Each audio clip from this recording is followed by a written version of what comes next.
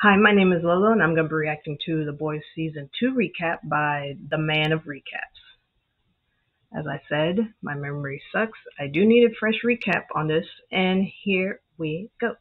Welcome to the Man of Recaps. This is The Boys Season 2. Season Mhm. 1 ended on a cliffhanger as Homelander just discovered he has a son, and he's being raised by his mother, Billy Butcher's wife Becca, who turns out is still alive. But we don't Yep. find out what happened here for a bit. Billy Butcher is missing and has been blamed for Madeline Stillwell's death, and so the boys are now America's most wanted, Huey, MM, Frenchie, and Kimiko laying low off the grid. Things are great for Homelander though. His evil plan was a huge success to give Compound V to terrorists so the government would allow soups in the military. But the superhero megacorporation didn't know about this plan, so the CEO, Stan Edgar, gives Homelander a stern talking to. But they are going to make a ton of money off it, so he's not that mad. Annie, aka Starlight, is still with the Seven. She helped the boys escape last season, but the only one who knows that is A-Train, who's still in his heart attack-induced coma. She's still working secretly to expose Vought's corruption and trying to maintain her long-distance relationship with Huey. Now they finally admit Translucent is dead, so it's time for a new member of the Seven. Meet Stormfront, Stormfront. a young hero from the next generation who's much better at TikTok than these old farts, and she's hugely popular with a cool calling it like it is vibe. Now soon the boys discover a super terrorist has been smuggled into the country. They go to their CIA contact, like if we bring him in, can you clear our names? And she would love to take down Vought, but wait, what's this? Her head explodes! Oh man, what new soup was this? Just exploding people's heads. But now it's finally time. Billy Butcher's back. Our boy's fearless leader, the R-rated Captain Jack Sparrow. For some reason, Homelander didn't kill him. He dropped him off miles away. He and Becca made a deal, spare Billy's life in exchange for visitation rights. Of course, this is awful for Becca because her rapist is now hanging around pretending to be a nice happy family. They're not in the suburbs. It's a secure Vought compound. She's like, yo, get Homelander out of here. But it's like, we can't control him. And while Homelander's a sociopath, he does want to be a good dad because remember, he was raised in a lab. That's why he has such a weird mommy fetish. In fact, he regrets now killing Madeline Stillwell. But wait, what's this? She's alive. He's got her hidden away in a secret sex cabin. But nope, nope. Oh, it's the shape-shifting super.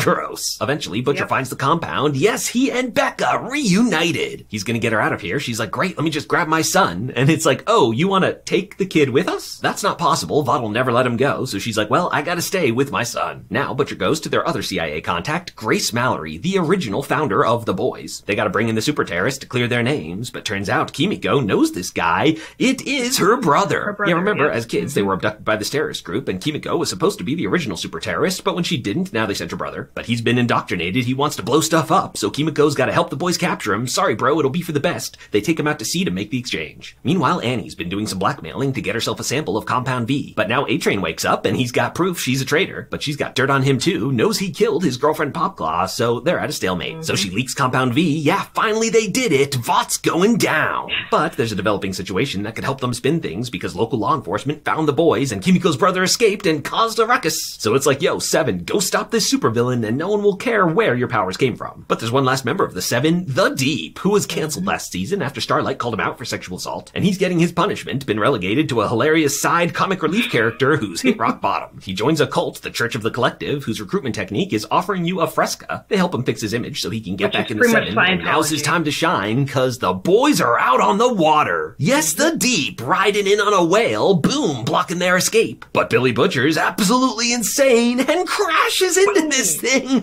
Diabolical. The rest of the seven arrive. Luckily, it's Starlight who finds Huey first, but oh, she blasts him cause Homelander's right behind her. And he's like, look, it's time to prove you're not a traitor. You gotta kill him. But he's distracted when Kimiko's brother drops a train on him. These two escape, but now Stormfront catches up to him with her lightning powers. Boom! And Stormfront seems not to care about collateral damage. She kills some civilians on purpose. Yeah, there's just no good heroes. Much like Homelander, she's also a psychopath and kills Kimiko's brother. And now, after stopping And a supervillain, racist. able to spin the Compound V thing and face zero consequences. Now Stormfront, the meme queen, is more popular than ever, and Homelander doesn't like being upstaged. And now he's got a new problem when a video surfaces of him not caring about civilian casualties. An hmm. AOC type, Congresswoman Newman, is trying to bring Vought and Homelander to justice, and Homelander's usual tricks just aren't working anymore. Now there's a constant background fear that at any moment Homelander might finally snap and start lasering people willy-nilly. But he holds himself back for now. He hmm. craves the people's love too much. Instead, he goes to Stormfront, who sets him up on the poning liberal snowflakes fake news awfulness. And tragically, it just works so well, the whole matter MAGA crowd just loves him. And pretty soon he and Stormfront get it on, superhero style, cause a lot of property damage. Now back to the boys. The mission continues. They got a tip about an old soup named Liberty. They find out that back in the 60s, the superhero Liberty killed this woman's brother just for being black. Yeah, that's awful, but why'd it come up now? Well, turns out Liberty is Stormfront, Stormfront. who apparently doesn't age. And she's even older than they know. Not just a racist, but a literal Nazi. Nazi. Starlight does some mm-hmm. snooping and finds her secret project, an off-the-books facility with a bunch of soups with powers that don't quite work. Yes, Compound V only works well on babies, but they're trying to stabilize it in adults so they can make a soup out of anyone they want. And working here is a fire starter soup, former member of the Seven, Lamplighter. We mm-hmm. finally get the story of when the boys were an official team, they blackmailed Lamplighter to be their mole at Vought, but he didn't like that and killed Mallory's grandchildren. As they're leaving, Frenchie gets made, and in the scuffle, a test subject breaks out, and they are not in a good mood. To survive, our team's gotta work with Lamplighter, and as they get to talking, he feels bad. He didn't know the kids were in the house. Now he's willing to make things right by testifying against Vought at the upcoming congressional hearing. Huey babysits while he goes on a porn bender, but now Vought has captured Starlight, so Huey's gotta convince him to help him break in and rescue her. Once inside though, Lamplighter doesn't help. He decides to just end things. Luckily that sets off the alarms, which lets Starlight absorb some power and boom, blast out of there. But now here to stop her is Black Noir, another member of the Seven who never talks and is equal parts hilarious and terrifying. But stepping in to save Starlight is Queen Maeve, who defeats Black Noir with an almond joy because he's allergic to nuts. So it's time for the hearing, but without Lamplighter, Yep. they lost the star witness. But Butcher found an even better one, Vought's old chief science officer, who knows all the dirty secrets. Butcher intimidated him into testifying, basically, by drinking tea really menacingly. So this is it. The Yeah. heroes can't kill him on live TV unless you had a soup with head exploding powers that come out of nowhere. And mm-hmm. whoever it is, they explode a ton of heads. The hearing is canceled. And after this attack on Congress, the government orders a bunch of the new adult safe compound V so they can make a ton of new soups to protect us, which plays perfectly into Stormfront's secret plan. She'll just make sure only white supremacists get the doses. Now, Homelander and Stormfront have fallen in love, and it's like, hey, let me come take you to meet my son. But they get annoyed with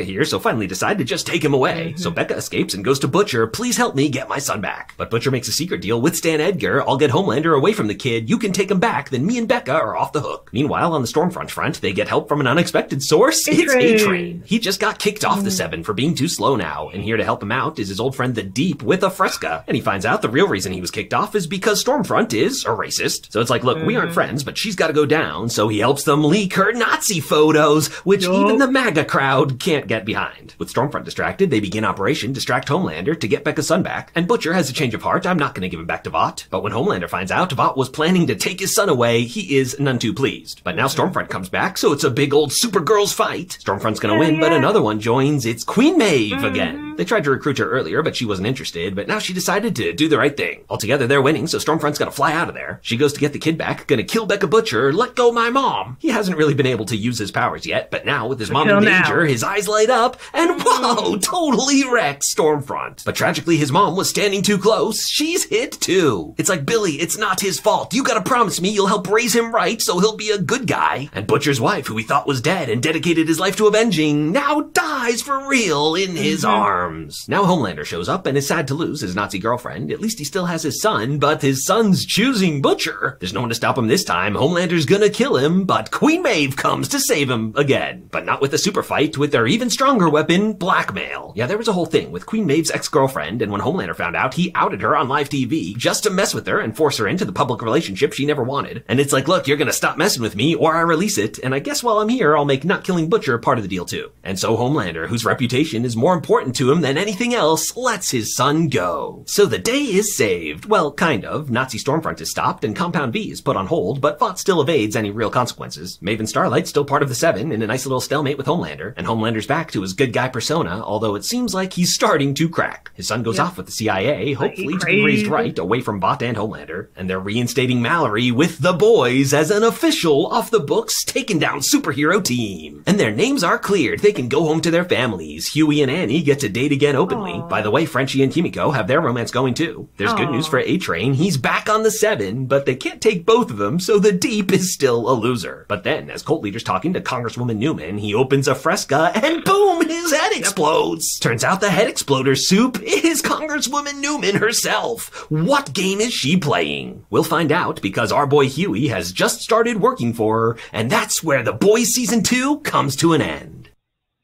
If you like this recap, hit that subscribe button for more of the best recaps of TV and movies. yeah, that was a good recap too. Should definitely check out the rest of that guy's channel. Man, I cannot wait for season three. It's gonna be so awesome.